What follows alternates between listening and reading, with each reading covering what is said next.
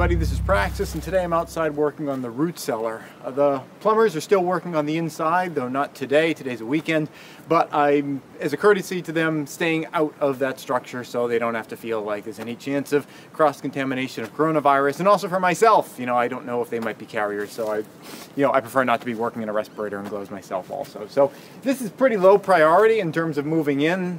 This does not have to be done before we move in, but uh, related to what's going on with coronavirus and grocery stores and things like that, I would love to be able to uh, hold more food, like if there's extra bags of potatoes that I can pick up, onions and things of that nature.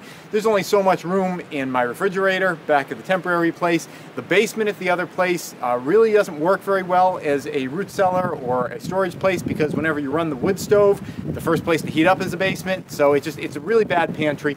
And I was thinking that if I could get this operational, then I could use this as a pantry. So while it really doesn't have anything to do with moving in there, I can't work inside because of the plumbers. I can't work on the shed because of my lumber getting destroyed in whatever car accident or whatever happened. Uh, and this is something that can actually serve me and I'm going to eventually do it, but it just doesn't have anything to do with moving in there. Uh, what I've got going on is I've got a frame of pressure treated wood. I was able to use up the last of the pressure treated wood that I had as scrap from this structure. Uh, I used the Ramset to uh, fire the nails with those little 22 caliber rounds into the concrete, uh, paying attention to stay away from the edges. You don't want to be within three inches of the edge because you could kind of blow the edge out. Um, so I got, I got that up and then I got these vertical boards on here to act as kind of like the edges of the door. This is where the, the hinge is going to mount. And what I'm working on right now is the frame of the door itself. Now I'm building it right in place because while this door should technically be a perfect rectangle, for, uh, 44 and a half inches by 59 and a half inches, you know, you never know if it's a little trapezoidal or whatever. So what I'm doing is I'm attaching the frame of the door in place, putting these corner braces on it, then I'm going to be able to take the entire thing off, bring it up over to uh, the, the deck of the shed where it's a nice workspace, flip it over, transfer the braces to the other side, flip it over again, and then I can put sheathing boards all over the front of the thing.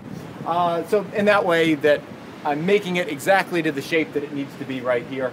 What I'm going to be doing is just doing some three quarter inch boards on the front. I've got some nice rough, uh, kind of rustic looking ones. I think I'm going to use up for that. They were extra strapping from the house, you know, these six inch wide boards. And uh, I, I, think probably on the inside I'll put some insulation because the idea is you want to keep the heat from here from going in there. So I might put a layer of insulation on the inside surface of it. But uh, yeah, uh, the one, other, one other issue that I have to deal with right here is that uh, based on the uh, way that this rock could be put down in a safe way, it couldn't come out this way anymore. Uh, so this corner of the structure is exposed, and when rain uh, hits the rock, it kind of comes down and then slides down the side of this wall here. So I've got to get some flashing up and under here that'll kind of wrap around this area so that uh, you know the rain will shed over the door instead of behind the door.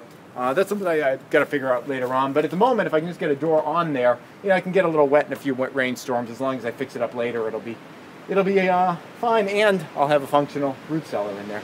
That's it. Thanks for watching.